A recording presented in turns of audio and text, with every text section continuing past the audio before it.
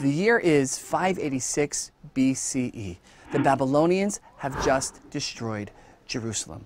The Bible, in the second book of Kings, recounts how Nebuchadnezzar, king of Babylon, has burned down the house of the Lord, the king's palace, every home in Jerusalem. He has burnt down the home of every notable figure.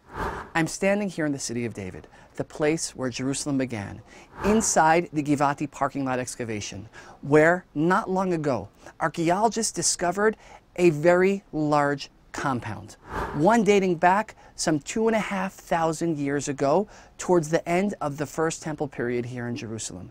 And they believe, based on the unique size of this compound, that it must have been the home of a royal government official dating back to that time period.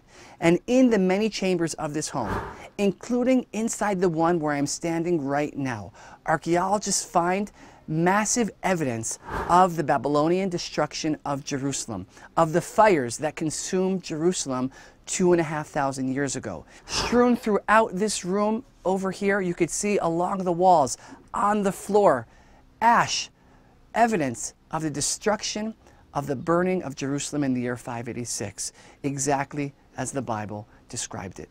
Because when you're in the place where the Bible happened, the words of the Bible come to life.